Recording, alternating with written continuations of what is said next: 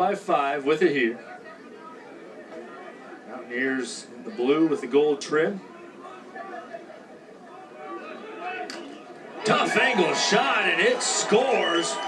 Great job there by Kurt Bromwell Jr., the sophomore out of Middletown, able to score it. And we'll double check that. It's actually Jerett Gaeger, a freshman out of Charleston, West Virginia, the state capital there.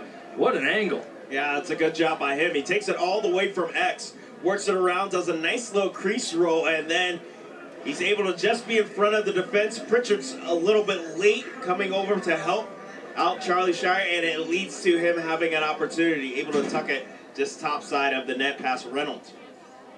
Gaeger already had one goal this year.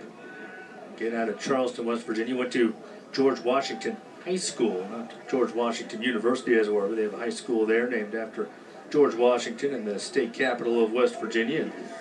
He's now playing for the Mountaineers, and he brings WVU within four early.